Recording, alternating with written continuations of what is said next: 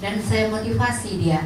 Saya motivasi dia uh, ibu mau melahirkan muda enak.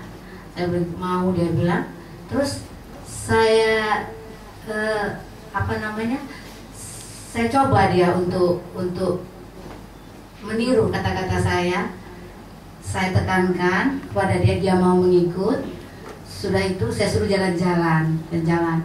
Sesudah jalan-jalan dia bilang saya bilang e, gimana kontraksinya? Ya makin cepat ibu. Ya makin cepat makin uh, kuat makin cepat makin baik. Saya bilang makin cepat lahir. Dia jalan-jalan udah bu mau berak katanya mau BAB coba naik ke tempat tidur. Mau tidur saya suruh dia uh, saya saya BT udah udah perjol dia nyonjol. Terus saya suruh ngedan terus saya bilang gini ya makin bagus makin bagus makin bagus cepet dia. Keluar dia cepet dia. Udah semakin lahir dia udah lahir.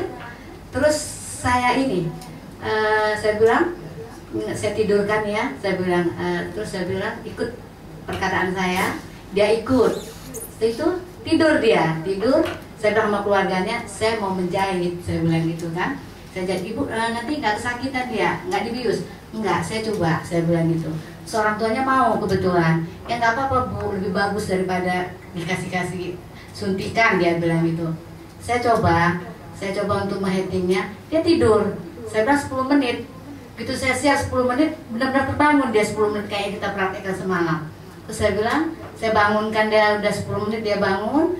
Saya bilang e, e, sehat seger? Saya bilang segar dia bilang.